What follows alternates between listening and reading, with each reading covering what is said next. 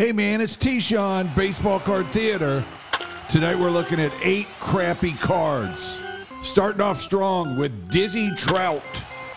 Dude, wonderful name. It's a reprint of a 1953 card. The glasses, and they're kind of throwing a shadow. Gap tooth, dorky look. Yeah, man, this is a crappy card. Which, of course, makes it memorable, which makes it kind of cool. Up next, Dave Henderson kind of sliding and kind of not catching the ball. This is from Leaf 92, I think. Look at his face. Yeah, that's pretty crappy. From 1979, it's Tim Corcoran. And this swing, it looks like he's in a Broadway play. I'm hitting the ball. I'm jogging around the bases. It's a home run. Yeah, that's a dorky looking pose. That's a crappy card. Here's former Governor Jerry Brown of the Athletics.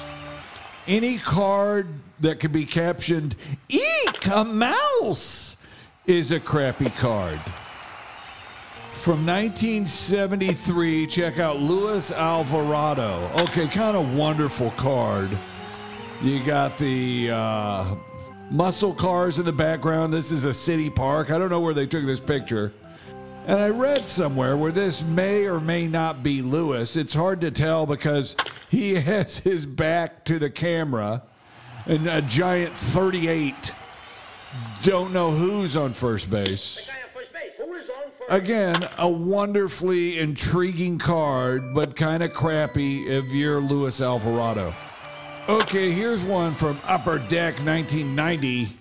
It's Jumping Jack Armstrong. You want to talk about the stupidest exercise ever, jumping jacks. Were they still doing them? I know they did them in World War II.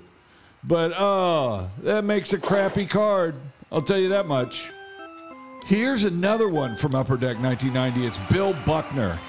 And dude, you know what piss this card pisses me off because it's got the big hole in between Bill Buckner's leg. First of all, the photographer who took this was some probably unathletic pussy who'd never played sports in his life, and he thought he was so cute. And don't get me wrong, I'm an unathletic pussy. I did play sports though. But hey, I just know better than to embarrass someone who's much bigger than me. Bill Buckner's a man. What is he, like six one, two bills? Yeah, he could have beat the shit out of the photographer. And then also the guys over at Upper Deck who thought that, hey man, this would be a great card. Smug little turds who never got that character building beating as a child. Fuck those guys. I like Bill Buckner. Get off his balls. Okay, and our last crappy card is from 1956 Jerry Lynch, catcher for the Pirates. Okay, this is a gorgeous card. Nice portrait, but then when you look at the picture, Jerry's getting screamed at by the umpire who's ringing him up. Out! I think this is a wonderful card. But if I'm Jerry Lynch, I'm probably thinking, This is a crappy card. True, but it's also the reason I'm talking about your card 70 years later. Okay, that's this episode of Baseball Card Theater. I'm T-Sean.